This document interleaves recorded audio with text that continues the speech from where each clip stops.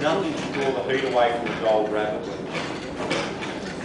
So therefore, it would take two to three hours for this gold to cool to a temperature we want to get up. And of course, we don't have two to three hours. So we're going to speed things up a little.